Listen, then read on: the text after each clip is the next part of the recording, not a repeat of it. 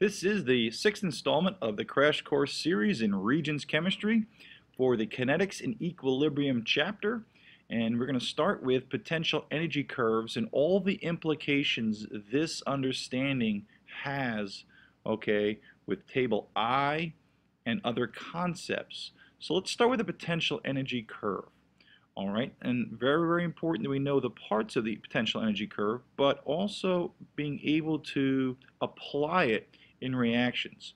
So in my y-axis, I'm going to have potential energy. Okay, this is not temperature, this is not average kinetic energy, potential energy, and this would be some kind of uh, time coordinate. Okay, and how we're going to measure the potential energy changes of a reaction over the span of how a reaction occurs. Okay, so let's start with um, the reaction here. And this would be, let's make my reaction, I'm going to write it above here as, um, I don't know, uh, A plus B goes to C. Or let's make it even nicer, AB. Okay, so it's a synthesis reaction, let's say. Individual elements forming something. Okay, or it's going to be a redox reaction, but it doesn't really matter. In any case, what we have here is we have the energy that A and B already have. So this would be uh, the potential energy of A and B reactants. Okay, and it's very, very important you understand that this side of the equation okay, is the reactant side. These are the chemicals that react, that form the products. That has to be clear. All right, so we have our reactants becoming products. Very important that that's established. They react to make products. Now, right here, right now, this line of potential energy is the potential energy of the reactants. This is how much energy, potential energy, the reactants have. Okay, so that line right there. Now we can put a number to that if you'd like. We'll put that 100. So we'll call it 100 joules. Why not? Okay, now the reaction is going to proceed in a certain pathway. And the pathway of potential energies looks something like this.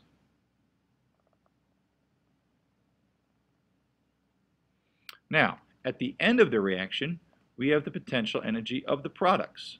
So we have A and B down here. Okay, and you notice they collectively have less energy than the reactant. So this is the potential energy of the products. And the products have less energy. And we could make this line, best I can draw here, uh, equal, let's say make that 30 joules. So we started with 100 joules of energy that the reactants had. After the reaction uh, proceeded and went to completion and stopped, we have 30 joules. So what happened? Well, clearly, okay, we lost some energy. And energy was released. How much? Well, about 70 joules of energy. This is an example of an exothermic reaction, okay, or an exothermic curve. Now, exothermic means that heat or energy is exiting. Has to be. The energy is going down. So when you see a potential energy curve, one of the first things that I teach my students is to see where you start and where you finish. Evaluate whether it's an endo or exothermic curve. This is clearly exothermic because I'm starting high and I'm finishing low. Another way to evaluate that is in terms of stability. Okay, you should know stability, okay, is dependent upon energy. All right, so these A and B, because they have higher energy, potential energy, compared to the products, they're unstable unstable is very important to understand, that it's high energy.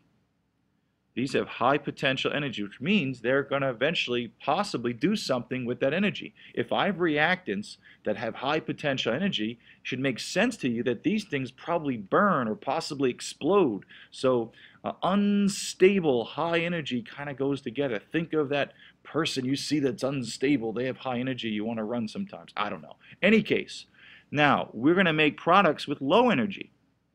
Okay, if these have low energy, these are stable. Now, why? Well, if you're stable, you're going to stay in that position unless somebody adds a lot of energy to change it. So when you're stable, you stay that way. That's what stable means. Stable people are consistent. You can count on them. A and B is going to stay in that position. Why? Because it's got strong bonds. Okay? Why? Okay, we can see that because to break the bonds, we would need this much energy, and we'll talk about that. So stable compounds. So exothermic reactions produce unstable things that could burn or explode, and they produce things that are stable, okay, which means they stick around. Case in point, let's go to table I for a second. Now the top part of table I has combustion reactions. We have these organic fuels, these carbon-based fuels here, reacting with oxygen to make CO2 and water. Well, guess what? Who's unstable? These reactants are unstable. These are all burning, okay, reactions. This is octane, this is gasoline, propane in your barbecues, natural gas. These are all combustion reactions, all burning.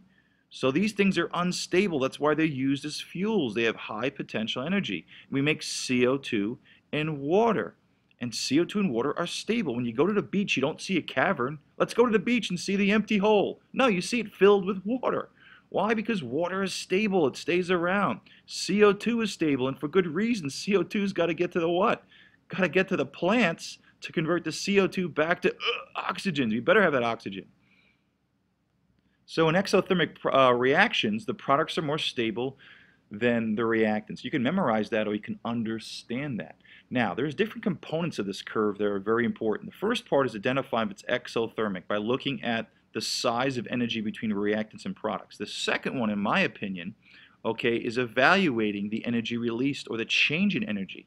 And we do that from where you start to the top of the hill. So we're going to start where A is 100 joules, and we come down to 30. And as I said before, 70 joules was given off. And the energy change, okay, went down 70. So we're going to say a negative 70 joules, it went down. And we call this change from where we start to where we finish the change using the delta sign, oops, okay, using a delta sign that you probably have seen in math, okay, and we're going to call that the change in heat. Sometimes you'll hear it called enthalpy. So the difference in where we start and finish is that heat of reaction, enthalpy. It's got a couple of synonyms. And it's negative because we started high and went down. Why did it go down? Because energy was released. So if something is exothermic, its delta H is clearly negative. Energy was released. Okay? And we can see that in table I. And there it is. You know combustion reactions burning are exothermic. Heat's given off. And look at the delta H here. They're all negative. They're all negative. Now, these values for these reactions are per, in this case, one of these. If someone was to ask you how much energy per, let's say, 0.5 moles of methane, you would take this and divide by 2. Now notice the 2 here. There's two octane or gasoline molecules. Okay? If they wanted the energy per 1 mole, I'd divide by 2 here. If I wanted it per 0.5 moles, I'd divide by 4. You do a ratio here. So this is the energy per this compound. And look at the stoichiometric values. This is per 1 because there's a 1 here. This is per 2 of them. So if they, if they asked for per mole, you have to be pay uh, particular attention to what these stoichiometric values are. Now, if you forget that delta H is negative in this table, well, um, if you scroll down, you'll see that the bottom of table uh, I has tells you delta H based on molar quantities represented in the equations, right? Represented by the numbers I showed you, and a minus sign indicates exothermic. So they give you that value. Okay, what else can we relate here? Well, this negative 70 sometimes is written in the reactions. And it's very important you understand that. So let's get some things out of the way here. It's clear that these are the products. Okay, uh, now what I'm going to do is put the energy in. I know that 70 joules was released. We would put that 70 right here. Sometimes I'll put the heat here, but look at the energy. The energy's on the product side. That means we're producing heat or heat was lost. So anytime you see energy in the product side, it means it's exothermic and the delta H is negative 70. People get these kind of questions all the time where they give you this right here and say, okay, what's the delta H? And people say, well, it's positive 70. No, it's not. It's negative 70. 70 joules was produced from the reactant, so now it's lower. So that value right there really means that the delta H is negative 70 joules. Okay? Now, if the heat was on the reactant side, we would have a what? An endothermic curve, which will look like this, okay, which is the opposite. All right, so if we have an endothermic curve, the same reactants, we're going to start low because our reactants, which by the way, if I'm going in the reverse, the reactant is AB, okay, and we would follow a pathway, and we would wind up, okay, with our products that have more energy than our reactants. Very important. And that difference, if you haven't uh, already uh, guessed, okay, the difference in where you start and finish is going to be positive 70. So my delta H here is equal to positive 70 joules. And if I write the reaction the opposite way, okay, I'll write it below it because I can. I have AB going to A plus B, and the heat would be 70 joules on this side. I need the energy. Energy has to be added to climb the ladder. Okay, so that's a big difference. If something is exothermic in the forward, it's endothermic in the reverse. The number is the same, but the sign switches. Back to table I. So I look at this synthesis reaction of aluminum and oxygen into aluminum oxide, very exothermic. If I do the reverse and say, hey, what's the decomposition of aluminum oxide? You would say positive 3351, right? The opposite sign. If I said, hey, what's the decomposition of NO? And you would say negative 1A2. In the reverse, you just flip the sign. Now I could ask you in this reaction, giving you a bunch of reactions, which of the following choices has um, the products having greater energy than the reactants? I implore you to draw a potential energy diagram. So if you look at this reaction, hey, positive delta H means the energy is increasing, going up. It's an endothermic curve. This is the difference between you, where you start and where you finish, okay, is going to be this value here. So difference between here and here is 182. And clearly the products have greater energy. So these types of equations, you need to draw, draw, and draw. Okay, so we haven't finished all the parts of the potential energy curve, but we've talked about the implications. Energy on the product side, exothermic. Energy on the reactant side, okay, endothermic. Draw these curves out. You know what they mean. Now we have some other parts of this uh, curve here. We know that the maximum energy it takes to make this reaction go, the energy barrier is called the activated complex. Okay, it's the point that there's a, a, basically a point of no return for the reaction. So in order to get to that position, once we get past that position, the reaction goes. So it's the highest energy position called the activated complex. It's kind of like A and B are just about bonded. It's a complex, okay? And there is some repulsions before they actually bond because of well, electrostatic uh, repulsions of electrons on the outside clouds of these things. Remember, in order for reactions to occur, they have to collide. So that's the activated complex. Now the activated complex is linked to this right here. In order for A to B to react, they need energy to get to the activated complex. So this is activation energy right here. So this is the activation energy of the forward. I always say where you start to the top of the hill. And I always give the analogy of a slide. To ride a slide, you got to get to the top of no return, and then the slide goes and the reaction goes. So the activation energy is the energy to climb the slide. So you have enough energy, but you need some more to climb the slide. In the reverse reaction, this would be the activation energy of the reverse. Notice is a lot more. Why? Because we're dealing with something that is stable. Something stable needs a lot of energy to become unstable. Okay? So those are the forward and reverse activation energies, which is the difference of where you start to the top of the hill. You want to ride the slide? You got to get to the top. Delta H or enthalpy is the difference where you start and where you finish. Now, there's a couple, there's one definition that pops up, and it, it goes by um, you know, sometimes a question where people's like, how do I know that? Do I memorize that? And they'll say the delta H is equal to the potential energy of the products minus the potential energy of the reactants. People say, well, why, why is that something I have to memorize? You don't. Okay, if delta H wants to become negative, I want to show that energy is going down. Well, don't I, don't I want to take a small number minus a big number? So if this is 30, right? We're just going to use this chart. If this is 30 and I subtract it by 100, don't I get negative 70 for my delta H? So we picked, by convention, we created this formula of potential energy products minus reactants so that we would get a negative value if our slide goes downward or our potential energy goes downward.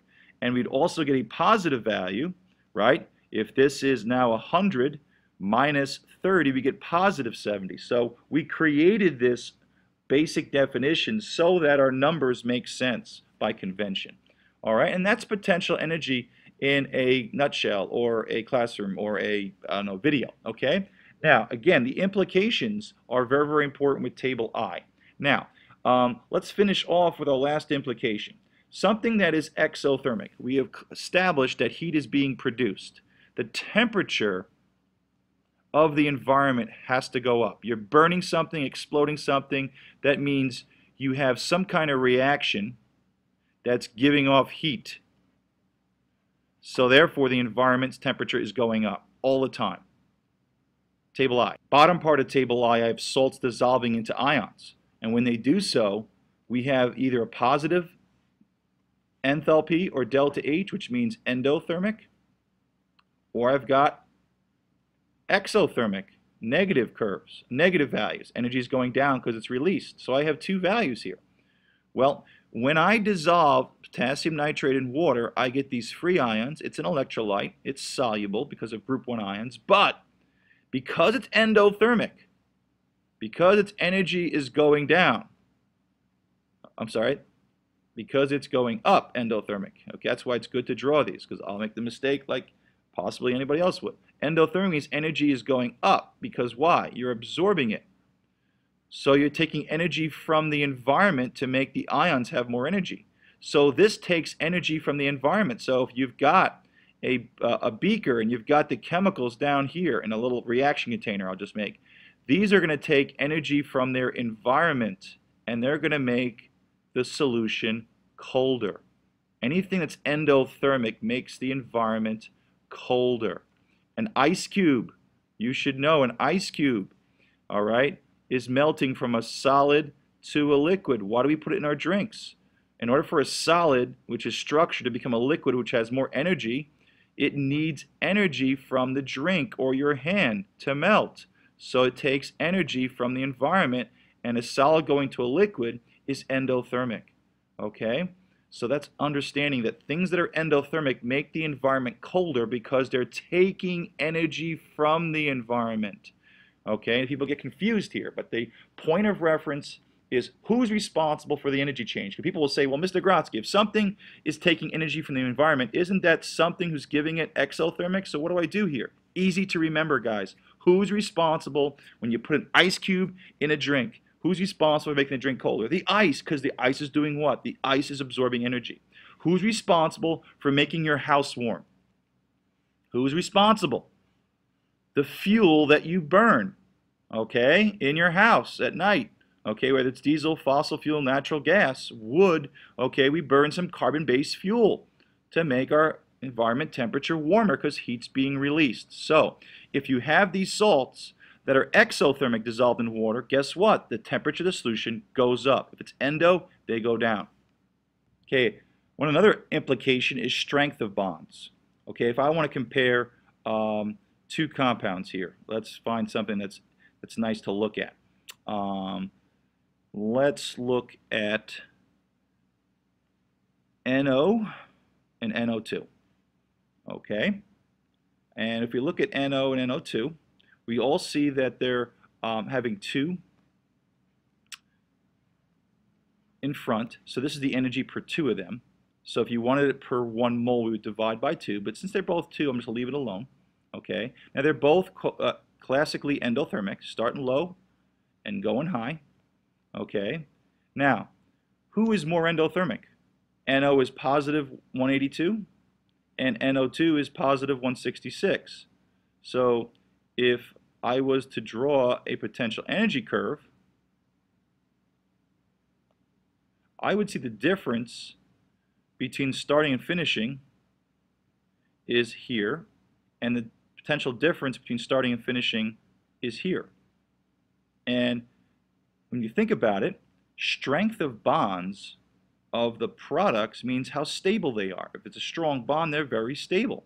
So if you think, generally speaking, the less endothermic I am, right, the lower this line, which means the more stable and low energy. So NO2 has stronger bonds. Now it's easier to see, and if I was probably doing this, I should have picked an exo and endo to compare. Like for instance, look at ammonia, okay? Uh, I know that the 2 here, divide by 2, you get that 40 something there. Now, if you look at ammonia, okay, it's exothermic, which means its products are what? More stable in its reactants. Look at C2H6. That thing is what? That thing is endothermic. It's going up. So who's going to be lower? Okay? Obviously, between the two, the exothermic is going to have more stable products. So the more exothermic you are, okay, and I think I was choosing C2H4 there, so sorry.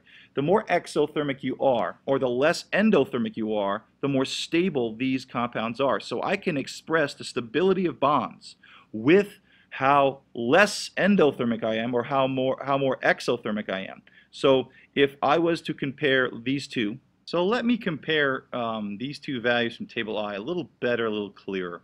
A good, a good explanation here of what I'm trying to bring across any case, I have two uh, synthesis reaction where I'm giving the delta H's right here. And I know their values. They're both negative. They're both exothermic. Okay. And if I was to draw their exothermic curves, and be, before I do that, I want to evaluate this 2 here. This is the energy per 2 moles. So if you want to compare these values, you have to find it per 1 mole. So I'm going to take this negative 91.8 and divide by 2. Okay? And I get 45.9 kilojoules. Okay, so I'm going to compare negative, because it's still negative, negative 40, let's put it over here, negative 45.9 with a negative 84.0. I'm not going to touch this one because this is already per mole. So delta H's are per uh, molar quantities, and that was per two of them, so I wanted it per one. So now I can compare. Now, if I was to draw a potential energy curve for these two compounds, and let's do um, the making of ammonia first. Okay, we'll see the delta H here is negative 45. And if I do another compound, let's do the uh, C2H6, which is our ethane, right? F2 carbons, that's definitely 2N, uh, CN, remember CnH2N plus 2, right? So that's definitely an alkane, so ethane, the making of ethane. Um, who knows where I start, but let's pretend it's a very similar place. But this is going to be lower. Now why is it lower? Generally speaking, because it's more exothermic. The difference of where I start and finish is going to be greater, negative 84.0.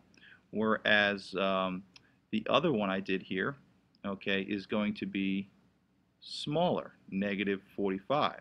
Not drawn to scale, but get the point.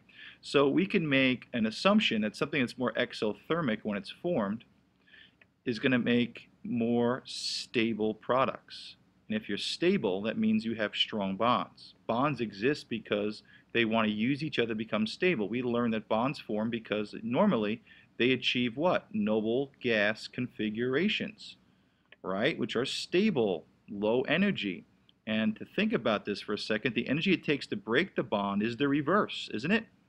So what's the value here? The lower that you are here, the more energy it takes to go in the reverse. So something is stable, low energy, okay, it takes a lot more energy to break it. So stable is the same thing as strength of bonds. So we can evaluate stability of bonds and strength of bonds by how more exothermic we are when we form something or how less endothermic.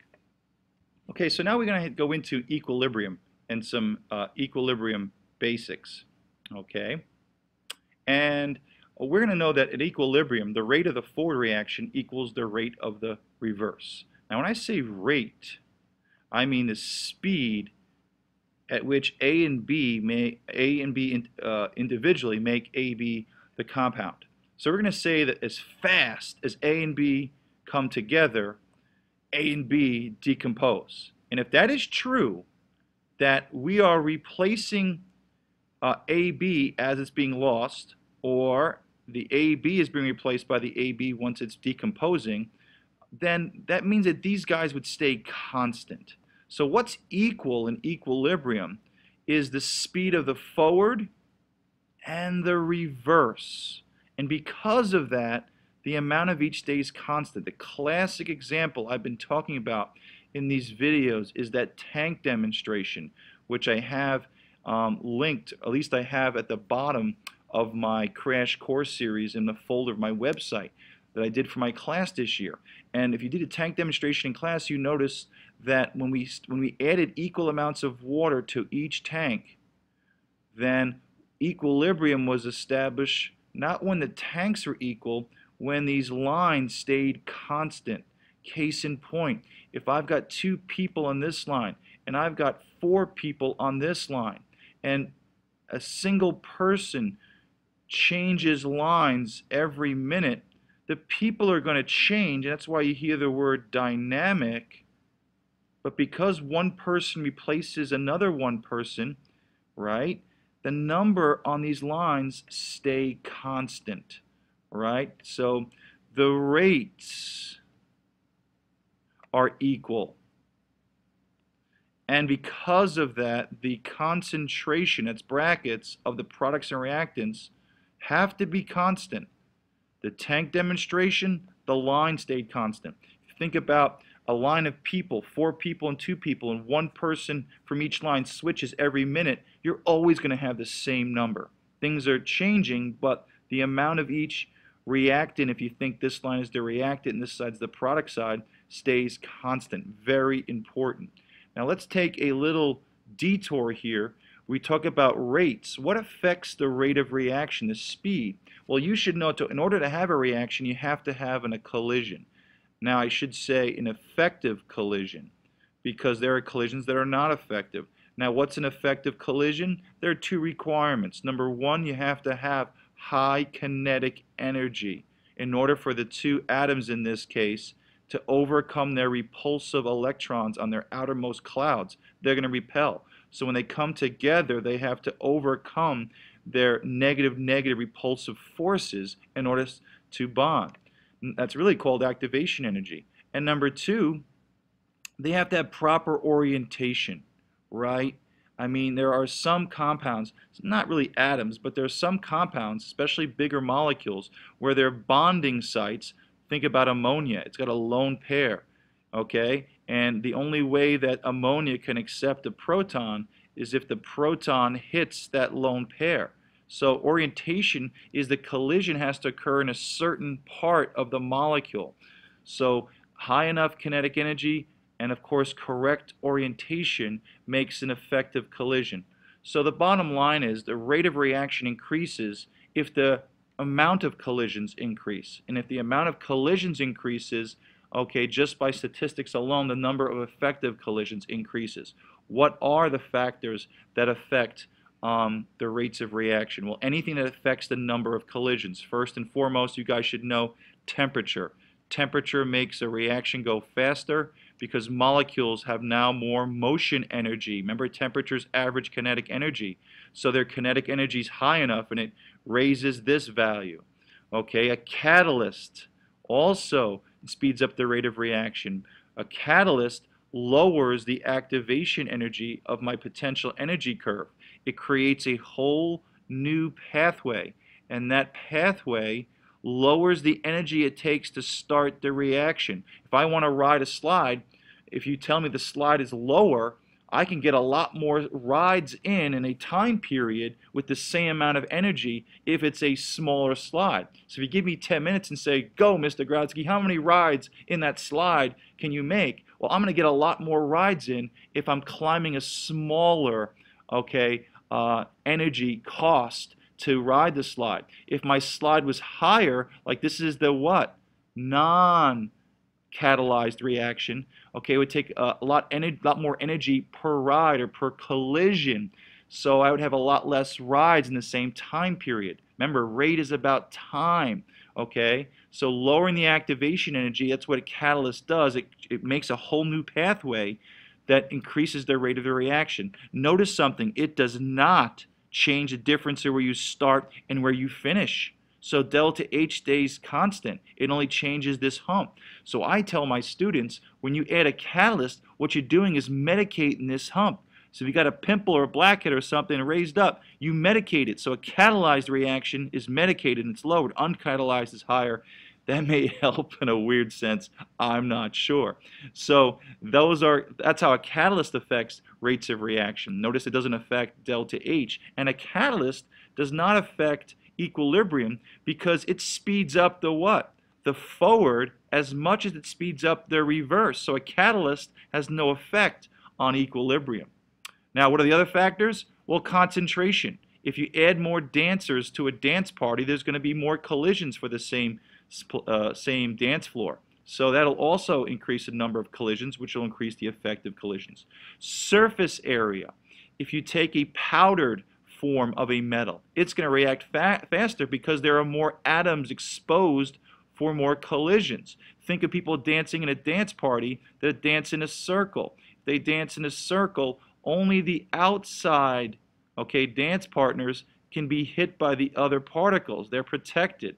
A log on the fire is not going to burn as much as sawdust. Sawdust is explosive, as I showed you this year in a demonstration. That's also up on the website.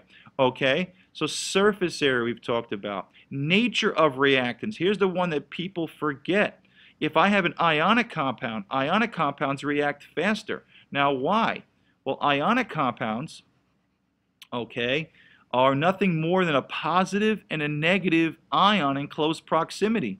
And if I give something that is more positive than what this is attracting, it'll just move toward that other positive. Or if I give something more negative next to this positive, it'll move. There's no transfer of electrons or divvying up the electrons. It's just who is more positive, who is more negative. Now you should know to make something ionic, electrons were transferred to get to this position. We're not talking about the making of ionic compounds, just ionic compounds in general. A negative and positive hey, you're like magnets. You put another stronger magnet there, it just goes. It's going to be faster. Something covalent, oh my gosh, you've got electrons you've got to divvy up. So you got to figure out who gets whose electrons. It takes a little longer. So ionic compounds react a little faster. So I got temperature, catalyst, concentration, nature of reactant, surface area. And the last one is pressure.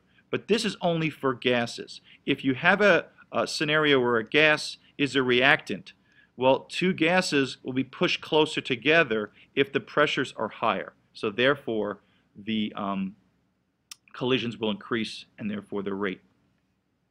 Now there's another type of equilibrium. There's two types. There's phase equilibrium and there's chemical. We've been talking about chemical, but let's review the other phase equilibriums. Okay, phase. How about we have an ice cube in a cooler? This is the best cooler of all time. No heat gets inside. Okay, made of non-metals because they're good insulators, right? Okay, so I got my ice cube. We know it's endothermically melting, okay? But this water is at 0 degrees Celsius, and we know at 0 degrees Celsius we are at a phase change where solid and liquid can what? Both exist. Look at the connections, people. Remember, solid, here's my liquid, solid and liquids at the same temperature. It's a phase change temperature. Okay, so what's going to happen here? Well, there's going to be some melting, and believe it or not, there's going to be some refreezing. So we're going to have H2O solid melting into H2O liquid. This is a phase change. This is physical. Okay, but you're also going to have some liquid going back into solid. Look at the double arrow. So the rate of the forward equals the rate of reverse. And what did I teach you? Well, the amount of each stays constant. So even though this could be an ice cube of perfect square or perfect cube, over time, when we come back 10 years later, assuming no heat got in, which is impossible, but hey, uh, so is making these videos. in any case, um, the shape's going to change because I'm going to have some remelting in different positions. Something's going to uh, melt, something's going to refreeze in a different position. So this is probably going to get rounded over time. But the amount of ice, if I started with a one kilogram block of ice, okay, I'm going to have one kilogram block 10 years later because the rate of melting equals the rate of refreezing. Now, another one that's probably more common to you is if I have a bottle, okay, bottled water, okay, certainly this is no bottle you probably have of water, but hey, and we stopper it, okay, well, the rate of, guess what, evaporation equals the rate of condensation. And you have, let's say, H2O liquid is in equilibrium with H2O gas. Oops. All right. And the rate of what? Evaporation equals the rate of condensation, which means the line and the bottle stays constant. You guys know a stoppered bottle, if there's no hole, the amount of liquid stays constant. Hey, you knew that, right? So that's why it stays constant at equilibrium. Okay, now we have something called solution equilibrium. Solution equilibrium is where we, of course, we have a solution of dissolved and undissolved particles. So here I have a, uh, let's say, a container. All right. And I have some undissolved solute particles on the bottom. Okay. Now, in order for this to be equilibrium, I have to have my solids make it NaCl, solid, is in equilibrium, double arrows with its ion, NaCl aqueous. Okay? So this is a solution, homogeneous solution. So the rate of dissolving, that's going this way, equals the rate of what? Reprecipitation, right? Making it precipitate. So the only way this works is if this solution is saturated. Okay? Think with me for a second. The room that you're in, let's pretend 100 people can exist. There's two openings. If I jam somebody in, if it's already 100 people in there, somebody has to be flown out because I'm saturated. Well, think with me here. If this is saturated and all of a sudden I jam one of these solids into aqueous, well, then one of these aqueous are going to be forced back out through the other door into a solid. So this only works when it's saturated. Now, if this wasn't saturated, okay, think with me for a second. Let's get rid of the box. Didn't mean to do all that. But if you think with me, here's my box, here's my two arrows, and now I don't have it saturated and I throw one person in, well, no one's going to come out. So if this wasn't saturated, we'll see if I don't take away too much stuff. Uh, too late.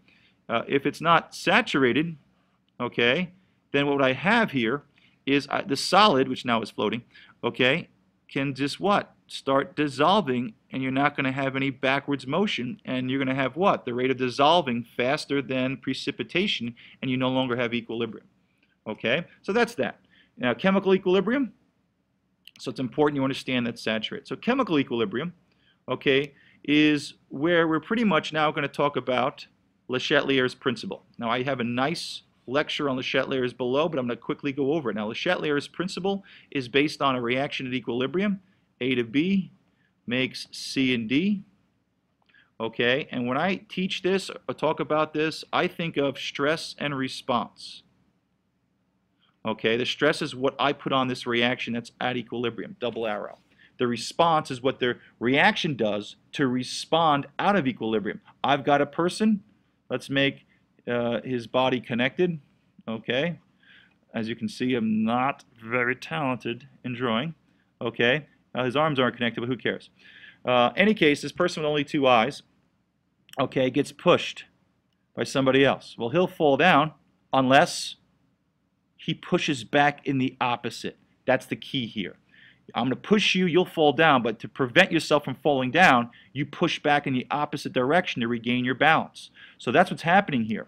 We're going to give the reaction some stress, and it's going to do what? It's going to go in the opposite and respond by doing that. For instance, if I add too much A, okay, and think with me for a second. I got a nice seesaw, and all of a sudden I add too much A, or I put Mr. Grodski on it. Okay, what's going to happen is this big A is going to send whoever's sitting here into a small Earth orbit. Okay, it's unbalanced. The unbalanced is seesaw. We've got to lower A so that this seesaw can rebalance. So, so if I have too much A, I have to lower A, or the reaction is going to respond by regaining its balance by lowering A.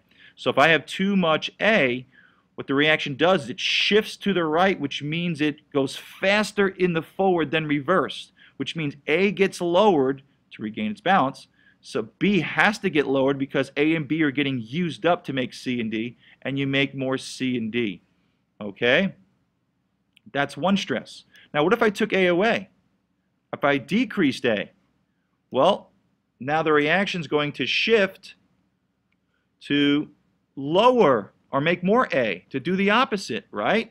It's going to regain its balance. You took A away, it's going to shift in the reverse reaction to make more A. And if you think with me for a second, if I take A away, B has nothing to react with to make C and D. So the forward the reverse reaction is going to be faster. And what happens is C and D get used up if it's going in the reverse faster, and we're going to make more B and A.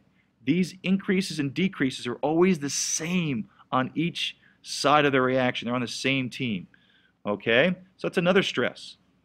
Okay, and let's add some heat here. Like we talked about, I'm going to put the heat on the product side, which is an exothermic reaction. So let me increase the heat or the temperature.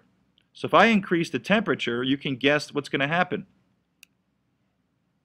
We're going to lower the temperature by doing what? By either making more heat or using up the heat. Yes, we're going to shift to the left to lower the heat so that the reaction can regain its balance. Therefore, C and D go down and B and A go up. Now, so your teachers might have had you memorize that, hey, when you increase the temperature, you always favor the endothermic way. That's fine, but I don't think you have to memorize.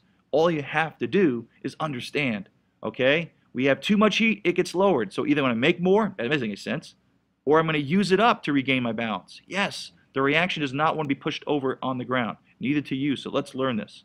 Okay? Now, uh, if I, of course, lower the temperature, put it in the ice bath, the reaction wants to make more temperature, so it will favor the exothermic way, make more heat. And these guys go down. Again, if you're not quite getting all of this, please look at my other lecture that I have, okay, on Le Chatelier's principle. Now, the last, or second to last, is what if these were gases? A and B were gases. I know I got it crossed out there okay? And now I'm going to add pressure to the mix.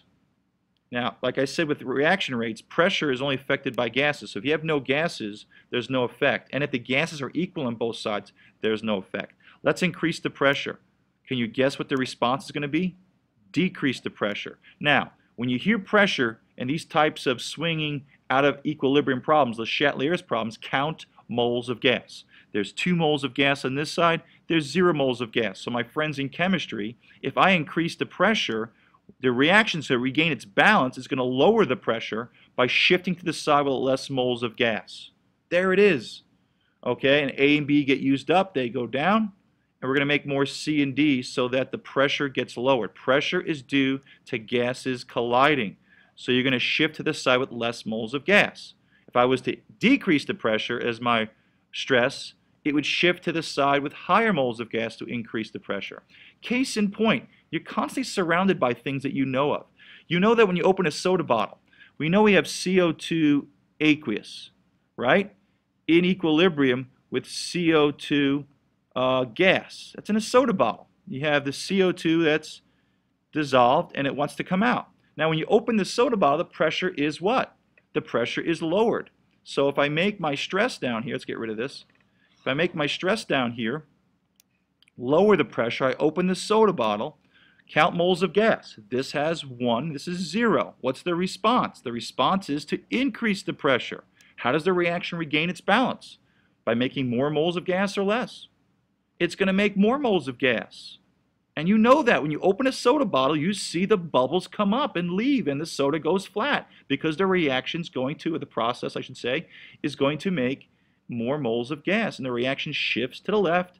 The CO2 aqueous, the solubility drops when pressure drops. And this is showing you that solubility of gases drop when pressure drops. And you make more of this. It's, you're surrounded by this. So that's Le Chatelier's principle in a nutshell. Now, there is occasionally something called a common ion effect. For instance, if I have uh, Pb chloride in equilibrium with my ions, okay, two chloride ions. If I was to add sodium chloride to this, I know sodium chloride breaks apart into Na plus and Cl negative, I would be really increasing my chloride concentration. And the reaction would look to what? Regain its balance by lowering it, and I would force the reaction to go this way to lower the Cl because I'm adding a common ion. So that's Le Chatelier's principle. You want more, please. I spend a lot more time on it on my individual. Okay, last little piece here is entropy and completion reactions. Okay, entropy, by, by the way, is nothing more than disorder. It is a lot more than entropy in thermodynamics than we teach in this course, but here's some basics. Okay, this reaction the entropy going forward is increasing. Now, entropy, think of chaos. Okay, it's, del it's, it's S for entropy, but they don't use that in this course. So chaos, disorder. You need to know that when one particle breaks apart into two, there's just more disorder. And of course, if uh, two particles or more come together to make one, your entropy is decreasing. You're becoming what? Ordered. Now, classic way to look at this is phases solids to liquids to gases. Gases have what? This is a chart of energy, have more energy. So as we go up, the entropy steadily increases. Who is more chaotic? Well, gases are. Who is more ordered and structured? Solids. They have that regular repeating geometric pattern we call crystal lattices. Okay? And that is essentially what you have to know for entropy. So when they ever ask what's happening entropy, look at the reaction and see if one thing is breaking apart into pieces, dropping an egg into pieces, chaos is increasing. Putting the egg back together, okay, would be going against nature and your entropy would be uh, decreasing, okay? Always think entropy is chaos or disorder. Okay, solids have a regular repeating geometric pattern. They're very structured so their entropy is low. But your gases are flying around hundreds of miles an hour. They have tremendous chaos. Okay, and the last little piece is um, something called um, going to completion. When I have a reaction that goes to completion, in this course it's for two reasons. If I make a gas, so if A plus B makes AB, and let's pretend that this is a gas, okay, and this may be, I don't know, a solid and a solid, okay, and the gas gets to leave, there's no, there's no way for this gas to go in the reverse. So this reaction keeps going forward until we run out of our reactants, and that's called going to completion. Another way is making a precipitate. So if I take lead nitrate, which we did in class, plus, let's say, potassium iodide, we would do a double replacement reaction. This would be lead nitrate with 2 because lead is plus 2 and we would make lead plus 2 with the iodine who's negative 1, I2, and of course we would make uh, K potassium nitrate. And we would evaluate this as my precipitate on table F. In table F, we know that um, uh, iodine is a halogen, is soluble except when hooked up with lead plus 2, silver, and mercury. So this is a precipitate. Now what's so special about that? Well, these guys are aqueous. These are solutions. These are soluble from table F. Anything with a nitrate soluble, anything with a group 1 ion is soluble. So these are all soluble compounds. So they're all aqueous, which which means they have free ions. So what's happening here is lead plus 2, that's free ions, hooks up with I negative, who is free ions. The nitrates are free and the K are free, really.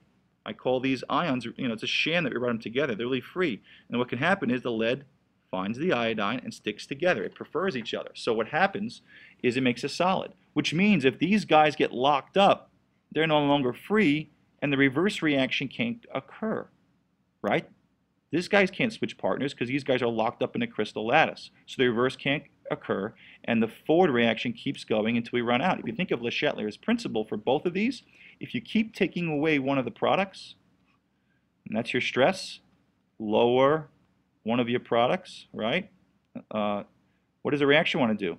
It wants to make more products. So the, the, the reactions keep shifting to the right until you run out of your reactants, and that's called completion reactions.